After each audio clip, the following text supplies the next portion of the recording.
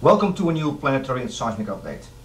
On the SSGI graph we see the stronger earthquakes magnitude 5.5 and larger uh, in the previous time frame from the 2nd to the 11th and we see uh, clustering, uh, obvious clustering on uh, the 6th and 7th like I said if you look at the uh, lunar peak on the 4th we take about into account about two days. And uh, we end up around the 6th and there we have indeed an obvious cluster peaking magnitude 6.5 at Atacama, Chile on the 6th and also 6.2 at the Western Indian Antarctic Ridge uh, later on the 7th. And uh, we had a 6.3 in Colombia, that was a felt earthquake on the 8th and that happened at the time of the planetary conjunction, the convergence of planetary conjunctions on the 8th as I explained in the previous update and there was also the potential for stronger seismic activity later on. 10th or on the 11th and on the 11th we did have a 5.9 in Taiwan borderline 6 magnitude earthquake. And that's basically the activity that we had uh, in that time frame if you look at the next time frame this is from the 12th actually yesterday uh, until the 21st um, we have uh, interesting geometry uh, notably the lunar conjunction with Jupiter yesterday that could result in a stronger seismic event uh, around the 14th.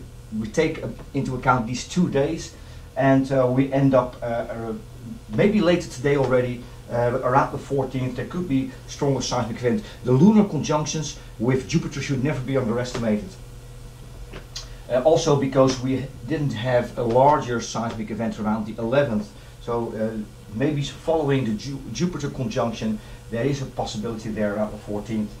Uh, we have a lunar conjunction with Mars on the 16th, and um, that could result in a typical stronger seismic event, a uh, clustering of stronger earthquakes, the uh, higher 5 magnitude earthquakes in particular, maybe borderline 6, and um, around the 17th. We have uh, significant geometry coming up with Venus, no conjunctions in this time frame, but we have a right angle uh, on the 17th, early 17th, and that could result in the worst case scenario in a mid 7 magnitude earthquake, and that would be, uh, if you take uh, into account two days, that would be uh, on the 9th, around the 19th, and uh, then we have also a high lunar peak with Saturn and Neptune, and we are going to analyze this a bit because we have three planetary conjunctions with Mercury coming up on the 18th, on the 19th and uh, later on the 20th. And in the middle there we have this high lunar peak, the, the green peak.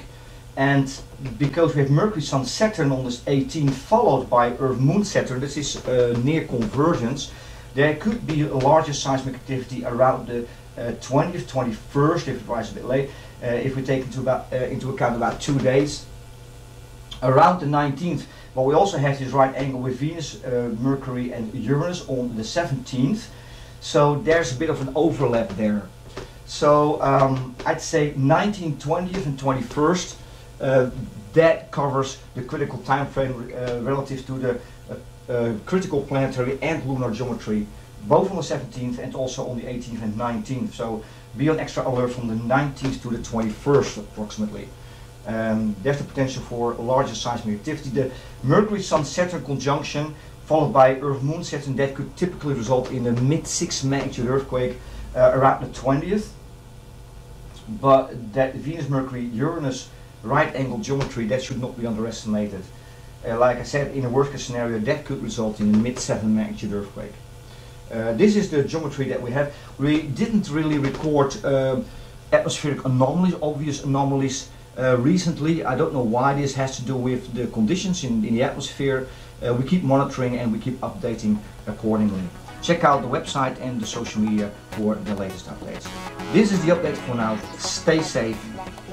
Until next time.